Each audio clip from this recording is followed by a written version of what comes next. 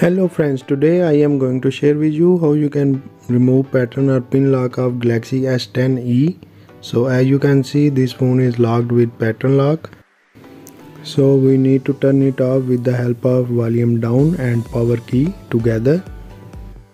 As you can see I am just going to hold power button and volume down key for 10 seconds and when screen goes off Immediately press volume up and Bixby and power button together and keep it pressed until you get in the recovery mode.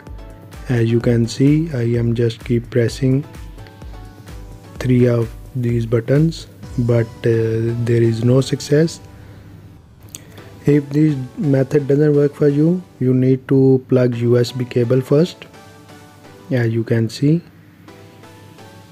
I just plug the USB cable and now volume down and power button for 10 seconds. And when screen goes off immediately press volume up Bixby and power button. And keep it pressed until you get in the recovery mode. As you can see now we are in recovery mode and here we can format our data. So go to wipe data and factory reset press power button factory data reset and this will erase all your data. So just reboot now. It can take 5 to 10 minutes. So just be calm and sit behind.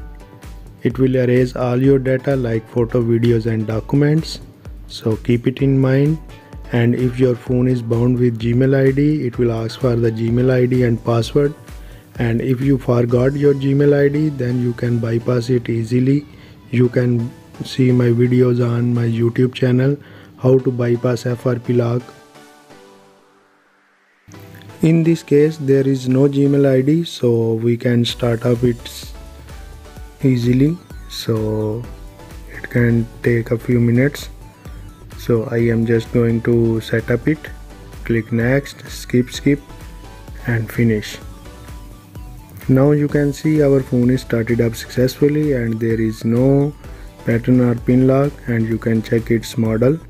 Hopefully you like the video. If you like the video do subscribe like and share. See you in the next video. Till then bye bye